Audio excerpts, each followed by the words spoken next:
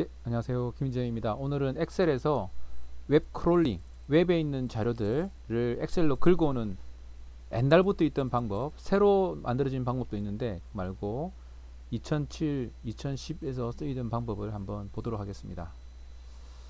아, 뭐 저는 거의 쓰지 않습니다. 이런 식으로 하는 걸 안 하는데 요즘에 이제 웹 크롤링 뭐 R이나 파이썬에서 불러와서 하는 걸 많이 하시더라고요. 그래서 이제 뭐 또 그걸 또 엑셀로 붙이는 사람도 있고 또 그 자체 R이나 파이썬에서 하시는 분도 있고 해서 뭐 엑셀도 그런 기능이 있다는 것을 알린다는 의미에서 한번 보겠습니다.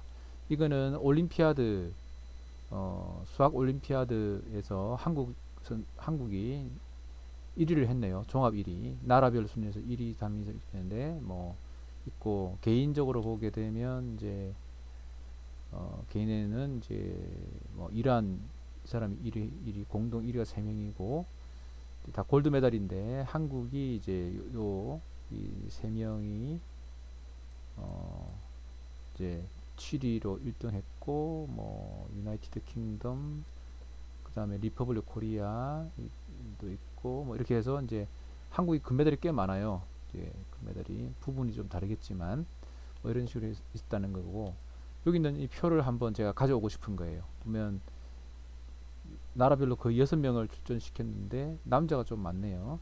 뭐 이런 것들인데 이런 자료를 갖고 싶어요. 그러면 복사를 해서 주소를 가지고 와서 엑셀에서 웹이라는 게 있고요.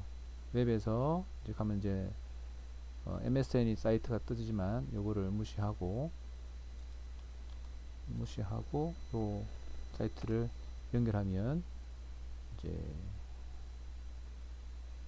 나옵니다. 그래서 이건 일종의 웹 브라우저랑 마찬가지예요. 보면 이렇게 표가 되어 있거든요. 표가 그럼 이, 이, 이 조금 표 있는 걸 긁어 온다는 뜻입니다. 어떤 웹페이지는요, 이 안에 표가 여러 개 있는 게 있어요. 여러 개, 여러 개, 여러 개. 그렇게 되어 있는 것들은 그, 그 표만 긁어 오는 거고, 지금 같은 경우는 이게 전체가 표가 조금 자료가 이렇게 정리되게 이렇게 긁어 오는 거죠. 있으면 요거 가지고 가져오기.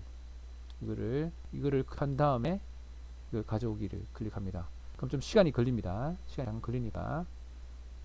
이렇게 시간이 좀 걸리고요. 시간이 걸린 다음에 이제 속선을 가보면 이런 게 있어요. 어, 다른, 다른 작업하면서 새로 고침 이런 게 있고요. 파일을 열 때마다 새로 고침. 그래서 이제 이, 뭐 제가 이걸 많이 써본 게 아니기 때문에 뭐 기능을 잘 알지 못하지만 이걸 이제 파일 열 때마다 인터넷 그 페이지가 바뀌면 알아서 바뀌어지는 거예요. 네이버 뭐 실시간 검색 뭐 1위 검색 순위 이런 거 있잖아요. 그러면 이제 시간마다 바뀌겠죠. 그럼 이제 60분마다 바뀌게 한다든지 뭐 네이버 그 주식 같은 거 바뀐다든지 이런 거 있잖아요. 그때는 그때마다 바뀌게 할 수도 있고 또 파일 열 때마다 바뀌게 할 수 있고 뭐 그렇게 조정되는 것 같습니다. 그래서 이제 이건 제가 많이 써본 건 아니기 때문에 얼마나 잘 되는지 그건 잘 모르겠어요. 그래서 여기다가 해서 확인을 넣으면 이제 데이터 읽어옵니다. 이때 조금 또 시간이 걸립니다. 그 아마 R이나 파이썬에서 훨씬 빠를 거예요. 네, 근데 그건 요거는 그런 건 아니니까 어, 빨리 됐네요. 생각보다 많이 걸리진 않았네요.